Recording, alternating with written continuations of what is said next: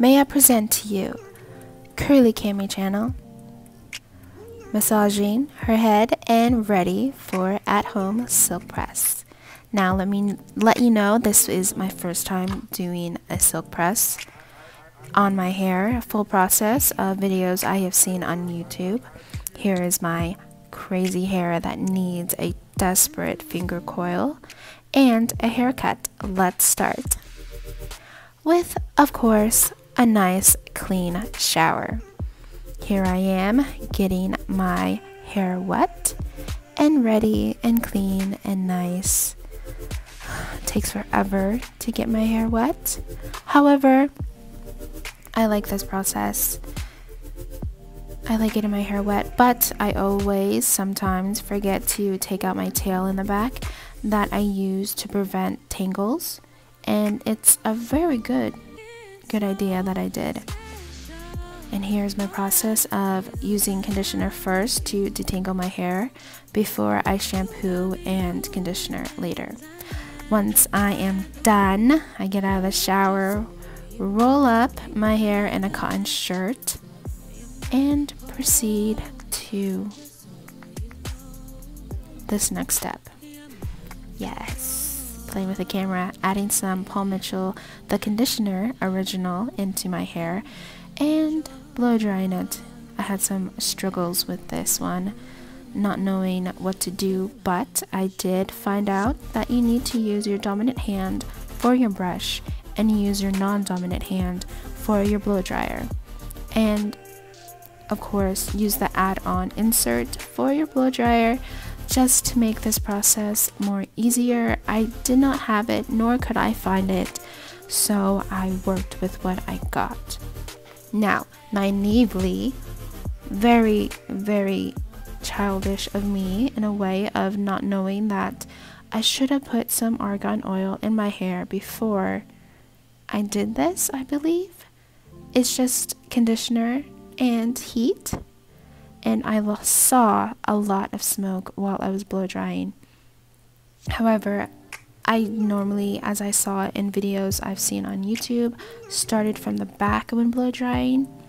I thought a paddle brush would work, but the paddle brush I have, I thought was plas- was plastic and I thought it would melt, so I did not use that. However, this is a new technique I used of doing just the back section and then starting from the side on my right side and blow drying from that.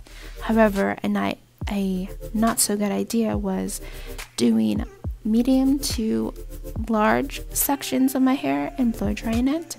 I should have used smaller smaller sections. However, it was around 9 o'clock at night and I had an early morning, so it's my fault. I wasn't time prioritizing as well with this. But sooner or later, I got the hang of blow drying my hair. As you can tell, it's not happening at this moment because the middle section would still be wet while the roots and the ends are dry. So I had to live and learn from this little exposure and getting all heated up from my blow dryer. Now, the setting is on high heat mainly because it was late at night and I know my hair was going to take longer while I was straightening it. So I quickly wanted to get this over with, even though it was my first time. And now watching it and seeing what I've done, I should have done a Smaller sections should have added possibly more oil, more oil, oil to my hair. Please comment below if I should have. I really need to know this just in case I do it again next year when I need to straighten my hair and cut it. And I'm curious, is this little sectioning off starting from the side and then going in the back, is that more easier for you? Um, if you're doing it by yourself, I would really like to know. As always, I am still putting it in smaller, not smaller, very large sections and blow drying it because I would have to repeat blow drying certain sections of that section because the blow dryer couldn't get to it because it's it doesn't have the tool that would get that section I wanted completely dry and ready. Now, as I proceed on heat damaging my hair, I get exhausted and turned off the camera and decided to do this by myself with some videos and music just to boost up my strength and finish strong in this blow drying process and first time. And as you can see, it is in a bit of some smaller sections and the majority of this section is dry at the roots and ends, but not so much in the middle. But it's not because of my mouth. No, no, no. I made sure of that. It didn't it did not get affected by my saliva. It did not even touch it either. So I finish off this area of my hair repeatedly. I know that it would have been more easier if someone else did it, but I like doing things on my own. You know, you got some people who can do a blowout on their own hair. I mean, I can try to do this myself. It takes practice. This is my first time.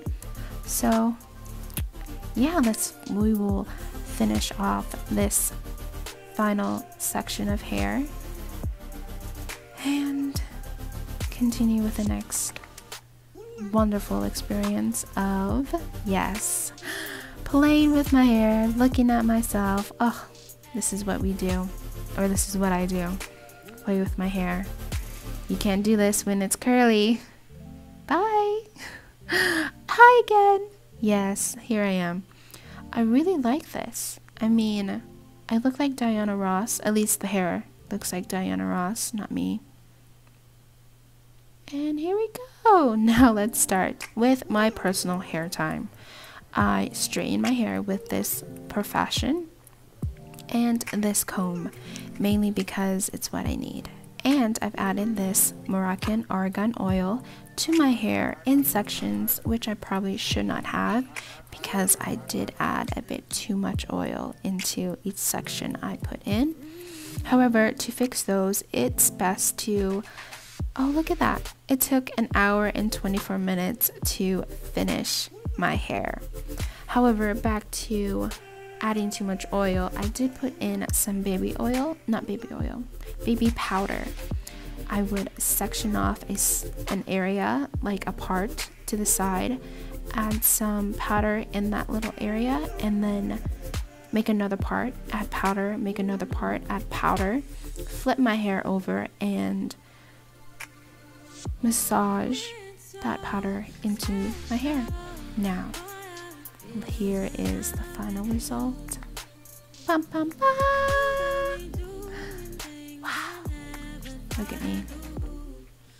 Yeah, can you tell it's a bit it's a bit shiny. It it looks like I, yeah, I added too much. But it's long. I think it's really long. The longest I've ever had my hair. However, I had to cut it as you can see those dry, very lifeless ends down there. It's gross. But it looks beautiful, doesn't it? Look at that. It's past my tailbone.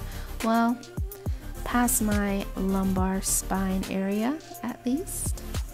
And very long. However, here is the next day where I did my I did the powder and hair look and brushed it. It's a bit frizzy because it's toward the middle of the day around noon and yeah it's not completely straight because it's time for photo time in comparison before my crazy hair. Now, let's do the reveal. Dun dun dun! Here's my cut. Look at that cut. Look at the, the much hair I cut. Yeah. Now it's bedtime. so much time for bedtime. Now, I did wrap my hair for the first time. If you want to see more, please subscribe. Thank you for watching and embrace joy.